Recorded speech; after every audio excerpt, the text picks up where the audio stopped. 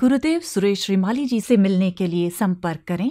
तेरह व चौदह अप्रैल, काठमांडू, नेपाल। संपर्क करें nine seven seven nine eight zero one zero three two eight six two सत्रह व सत्ताईस अप्रैल, ग्यारह व छब्बीस मई, मुंबई।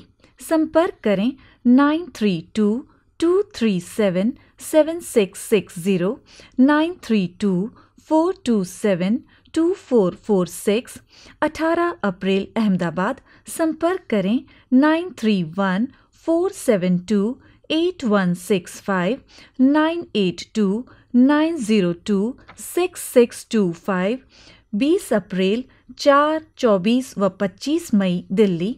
संपर्क करें zero one one four zero zero four three zero zero four बारह मई, नागपुर। संपर्क करें nine three seven one zero seven three four eight seven seven seven two two zero seven six nine five three. सत्ताईस मई नासिक, संपर्क करें nine three seven zero five nine zero five three six, nine three seven two one six five nine four nine. इक्कीस अप्रैल, पटना। बाईस अप्रैल, देहरादून। अट्ठाईस अप्रैल हैदराबाद, उनतीस अप्रैल बंगलुरु, पाँच मई लखनऊ छः मई आगरा, सात मई भोपाल, तेरह मई पूना, उन्नीस मई सूरत, बीस मई बड़ौदा। संपर्क करें nine three one four seven two eight one six five, nine eight two nine zero two six six two five.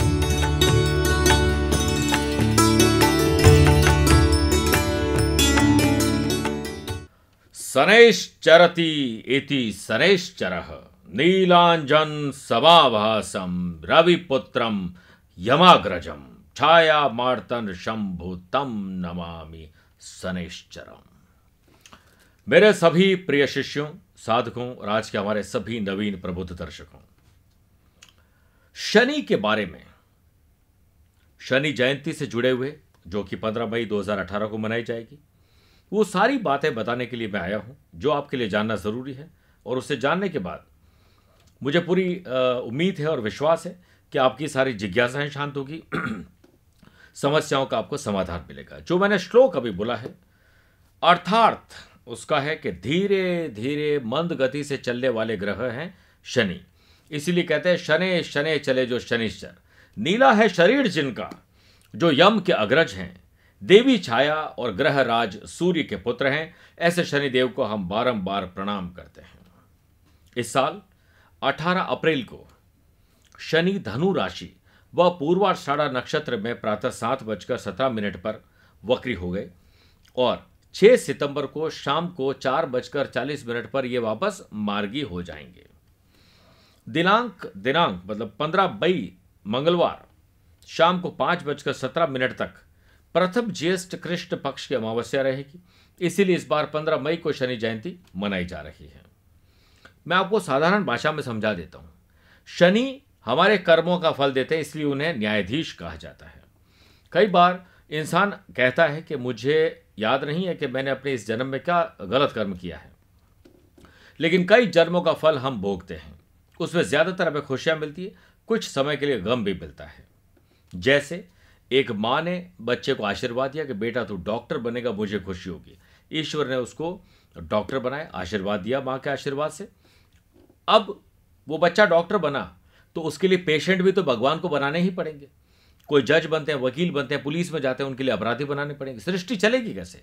इसलिए हम सबको अपने अपने हिस्से की तकलीफ़ भगवान ने दी है। हमें तकलीफ़ मिली है तो किसी को खुशी भी मिली है।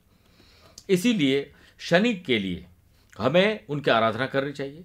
जैसे, मान लीजिए मेरा कोई दुश्मन है और मुझे पीड़ा पहुँचाने में लगा है, मैं उसके हाथ जोड़ता हूँ, भाई मुझे माफ़ कर दो। उसी वक्त उसका पारा कम हो जाएगा। वैसे ही शनिदेव की अगर हम आराधना करते हैं, उन्हें प्रणाम करते हैं तो शनि की जो वक्र दृष्टि है, जो उनका दुष्प्रभाव है, उस पर कभी ज़रूर आती है। नवग्रह, देवों में सबसे अलग शनि, यानी शनिश्चर देव, भले ही एकमात्र दंड अधिकारी, जज, यानी न्यायाधीश, जेलर ही क्यों ना हो इनके रंग रूप क्रोध तिरछी नज़र से भय क्यों न लगता हो? पर इन्हें भी संकट, दुख और परेशानियों का सामना करना पड़ा है। मर्यादा पुरुषोत्तम भगवान श्री राम को हम स्मरण करते उन्हें भगवान मानते लेकिन उनको भी चौदह साल वन में जाना पड़ा। जहाँ एक तरफ़ इनका काला रंग और गौर वर्णीय माता के चरित्र पर लांछन लगा तो वहीं पत्नी ने श्राप देकर आजीवन नपुंसक रहने की सजा दे दी। रावण के गदा प्रहार से इनका एक पैर टूट गया और लंगड़े हो गए। इसीलिए ये न दौड़ सकते हैं और ना ही तेज चल सकते हैं। इसीलिए शने शने चले जो शनिश्चर। अपने शरीर के रग से काले कपड़े, काले लंगड़े होने से महाभारत के मामा शकुनी की तरह चाल में टेढ़े, अधिकतर अपनी तिरछी नज़र से किसी को भी आवाज़ से बर्बाद कर देने वाले ऐसे देव पर क्या क्या गुजरी? कौन से कष्ट सहे इन्होंने? इनके साथ कब क्या हुआ? गजब हुआ? आइए जानते हैं। ये शायद आपको पता नहीं होगा। आमतौर पर शनि का नाम आते ही हम सब जो साधारण लोग हैं, जिनको ज़्यादा नॉलेज नहीं है, वो सहम जाते हैं, घबरा जाते हैं, परेशान हो जाते हैं और माथे पर चिंता की लकीरें साफ़ दिखाई देती हैं।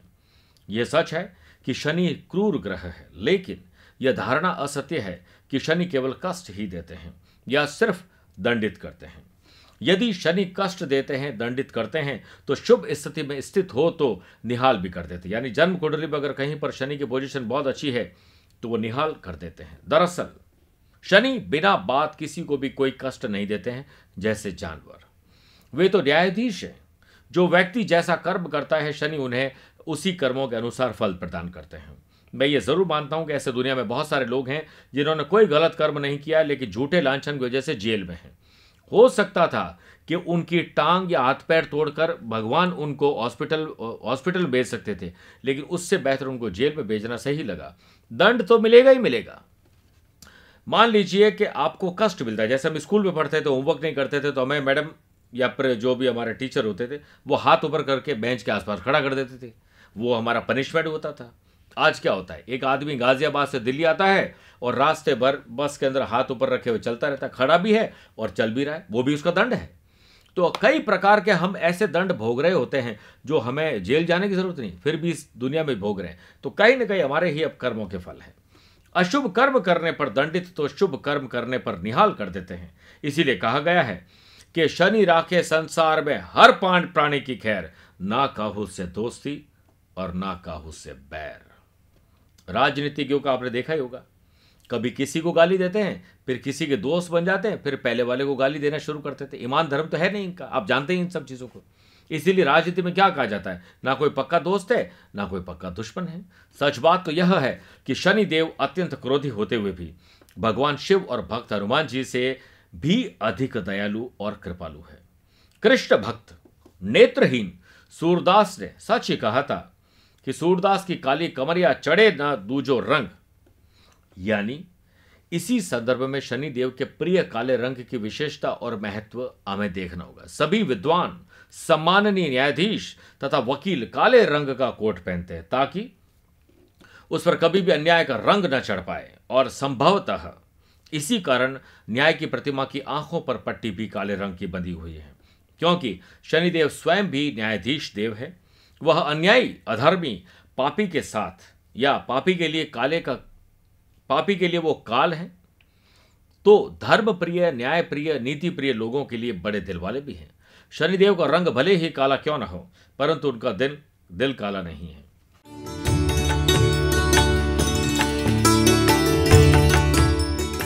गुरुदेव सुरेश श्रीमाली जी से यूएसए में मिलने के लिए संपर्क करें। थर्टी फ़र्स्ट में New York first and second June New Jersey third June Richmond Virginia fourth June Los Angeles for appointment please call three four seven six three three seven five one one Gurudev Suresh Shrimali जी से UK और Europe में मिलने के लिए संपर्क करें। Eighth, ninth and twenty third June London tenth June Birmingham eleventh June Leicester for appointment please call 0786 509 4276, 19th June, Vienna, Austria, 17th June, Frankfurt, Germany, 18th June, Brussels, Belgium, 19th June, Amsterdam, Netherlands. For appointment, please call 176 2477 2522.